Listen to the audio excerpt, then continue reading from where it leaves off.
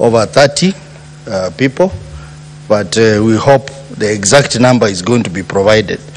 Uh, Mr. Speaker, I also want to express my sympathies to the family of those people who lost their lives within the precincts of Parliament.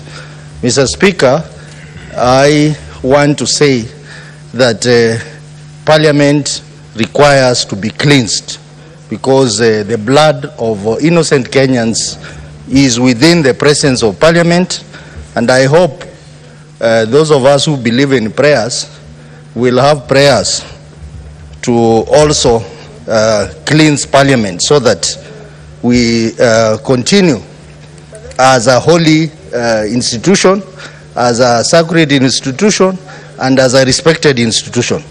Mr. Speaker, I want to thank the Senate leadership, led by yourselves and the minority and majority leaders, for this opportunity.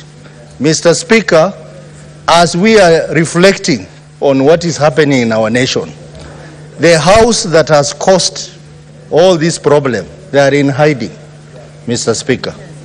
They are in hiding. Many of them are hiding from the people.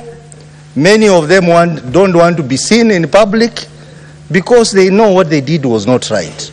And the Senate has taken up the challenge of being a house of reason to discuss these issues freely.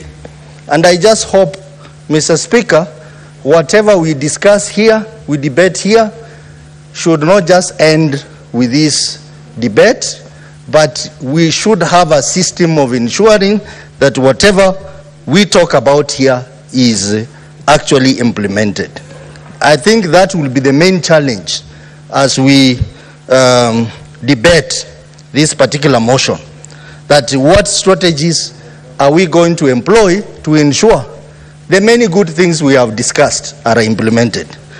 Mr. Speaker, I think the um, protest by the Gen Zs is a awakening call to the government and to entire